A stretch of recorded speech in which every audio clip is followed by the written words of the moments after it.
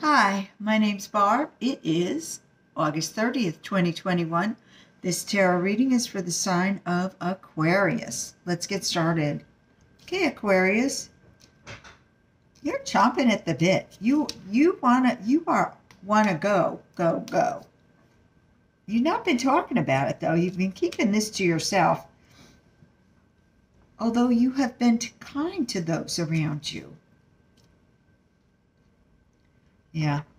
You you have looked at life from many different angles and the wish card is here and you have all the tools you need to continue where you want to go.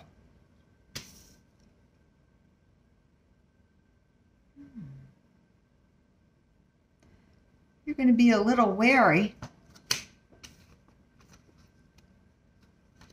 But again, you're going to lead with kindness and love. People are noticing. If they haven't, they will.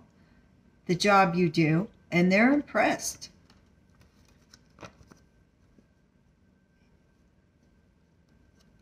Yeah, there's a new beginning coming your way. I hope this is helpful, Aquarius. If it is, please like, comment, and subscribe. We'll do it again next week. And as always, thanks for watching.